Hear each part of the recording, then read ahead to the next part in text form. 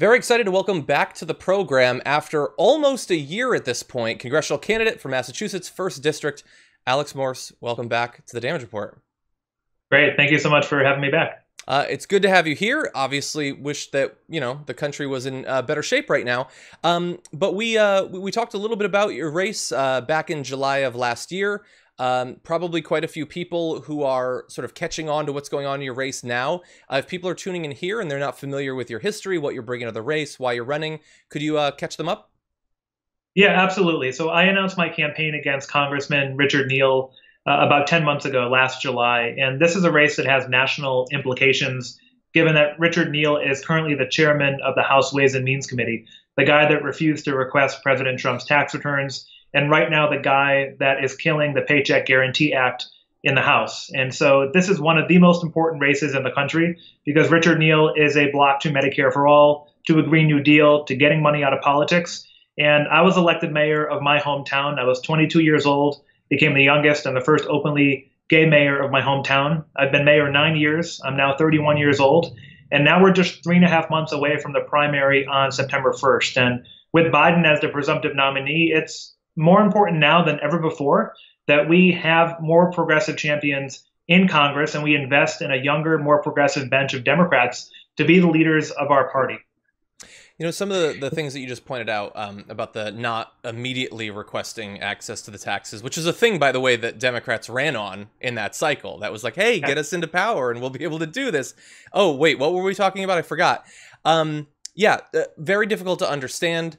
Um, what I'm curious about is, as you pointed out, with Biden as the presumptive nominee, uh, and you going against this very well-connected, powerful Democrat, um, in, in, the best of times, you'd face a lot of pushback from within the party. I'm curious, uh, considering the, what's going on right now, um, what has the reaction from the party been?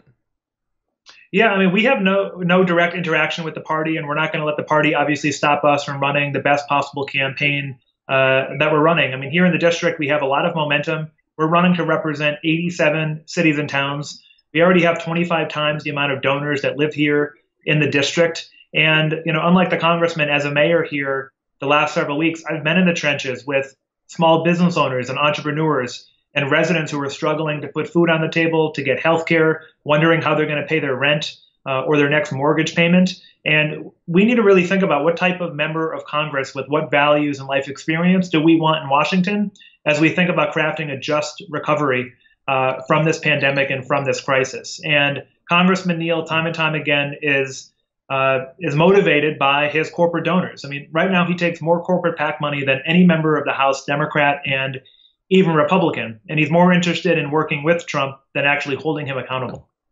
You know, you mentioned a just recovery, and, and you talked about the fact that he was instrumental in blocking Representative uh, Jayapal's uh, the Paycheck Guarantee Program. Um, uh, so I'm curious if you were if you were in the the seat right now, the bill that was put forward just uh, less than a week ago.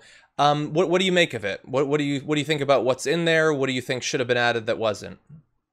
Yeah, there's there's a couple of good things in there, but this is a larger point about Democrats failing to use their leverage. Uh, they did the few first few pieces of legislation here you know, no bill is going to go to President Trump's desk without going through the House. And we, we need a united front of Democrats in the House of Representatives actually crafting a bill that bails out people and not corporations. And I would be um, hand in hand, arm in arm with uh, Congresswoman Pramila Jayapal and other progressive members of Congress, uh, demanding that the Speaker include the Paycheck Guarantee Act uh, and include more stimulus to the American people this is a no-brainer. And for Democrats and Republicans to talk about, well, we need to find a way to pay for this, uh, we're not paying for any of this. Um, and you know, as a proponent of modern monetary theory, this is important that we have the funds when we have the political will to actually make a difference in people's lives. And if we have money for the biggest corporations uh, to transfer trillions of dollars to the Fed to spend trillions of dollars on war and defense,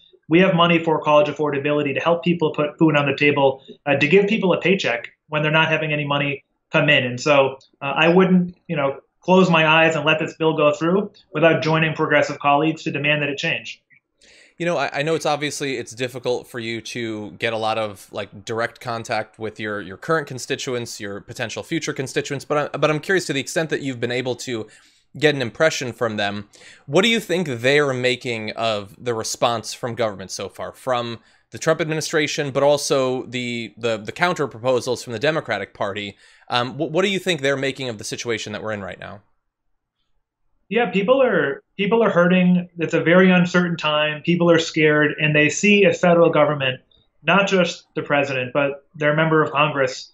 You know, how is this relief trickling down and helping just everyday people. I mean, you would never know that we have one of the most powerful members of Congress representing us when you just talk to everyday people. And our congressman is spending his time talking to CEOs of hospitals and of companies, while I'm spending my time talking to employees and working people and just everyday residents of, of Holyoke and in other communities throughout our district. We've launched a six part town hall series in a number of cities throughout the district to hear firsthand from people my campaign has made 30,000 wellness calls to people in the district just over the last four weeks alone. And uh, again, the, the, the House, even with a Democratic majority, uh, signed off on an insane amount of money for corporate and special interests without any direct oversight. And we're already seeing millions of dollars go to friends of President Trump, private jet companies, uh, big corporate chains. Meanwhile, I'm talking to folks that don't have internet at home don't have broadband in their community, uh, can't find access to a, a, medical professional, don't know how they're going to pay their rent um, in a couple of weeks. Those are the things that members of Congress should be focusing on. But I mean, if you're not interacting or talking to the people you represent, how would you know that? Yeah, and by the way, this is a quick aside. Th- thank you for mentioning the fact that we, we, sort of just take it for granted if you live in one of the big cities that, yeah, every American has access to internet and probably high speed access, but that is definitely not the case and uh, look, I live in LA, so I have access to any number of different providers.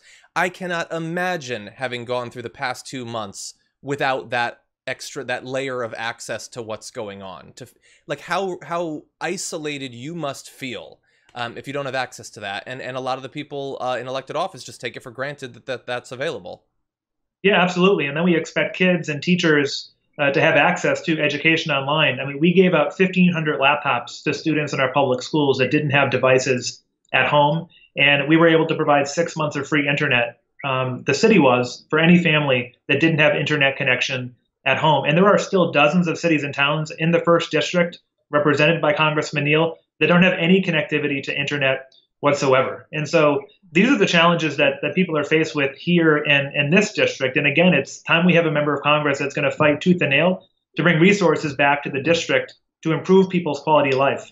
He's the chair of the Ways and Means Committee. Massachusetts is getting, um, I think, is ranked towards the bottom of all 50 states in terms of the money they're getting for, for hospitals.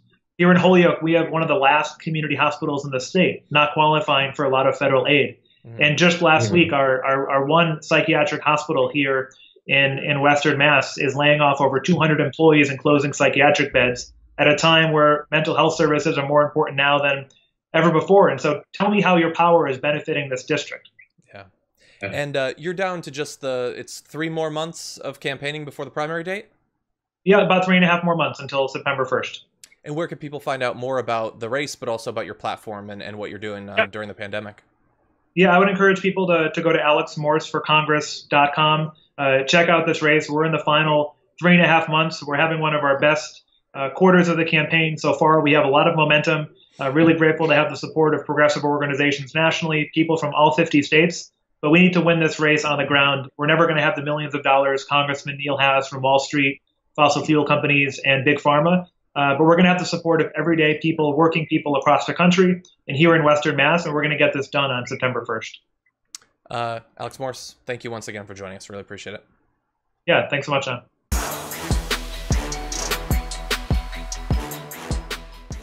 Check out the Damage Report podcast each day, wherever you get your podcasts, whether Pocket Casts or Stitcher or iTunes.